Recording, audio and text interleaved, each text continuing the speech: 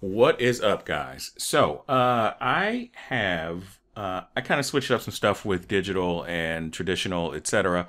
But uh, I have a XP Pen uh, 15.6. I've had this for a while, so I'm just showing you the one that I have. The model that I have, this one right here with the six buttons on the side.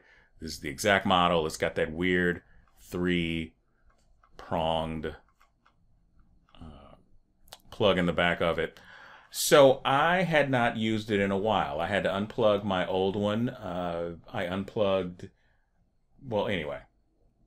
So I went and downloaded, tried to download the new driver. A, a few people were having this problem.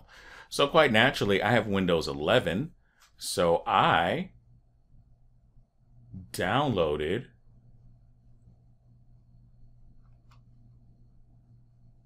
I downloaded well, this is the Artist XP6. Okay, so XP16, it wasn't giving me any sort of, this wasn't even here not too long ago.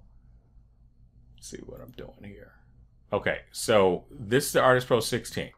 Now, this may work with this too, but I want to find my exact one because I had a slightly different version and it was giving me some issues. So this is the one right here, right?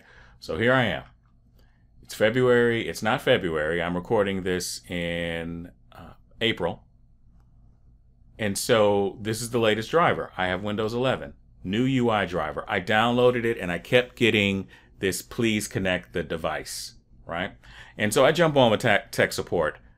And what I eventually have to had to do is to download the older driver. You have to download the older driver if you're getting that weird please connect the device. It's just it just did not update. Uh, if you have this older model. Now, I don't know about the newer models if they're not connecting, because I know that this is probably the the obsolete model, because they do have another uh, a, a newer a newer hotter version, right?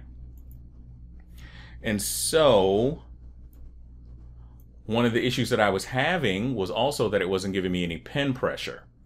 So I had to I had to download, uninstall, make sure that all your drivers are uninstalled. If you got a Wacom driver, uninstall it. If you have this version of the newer, the newer version of it, this uh, this updated version, uninstall that. You got to uninstall it. Then you got to reinstall or install the older version.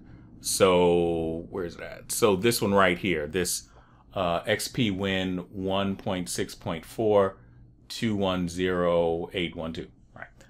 Uh, and you're going to download that. You're going to install this, and you should. Now, I'm on my other screen, and I don't really want to switch that. When you are on your other screen,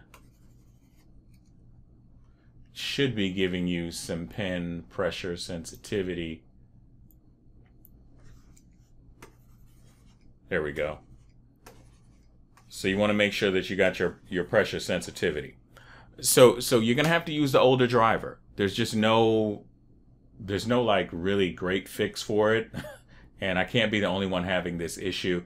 But if you go back to the older driver, then you should be able to um, address this situation. So hopefully they'll have this fixed or whatever.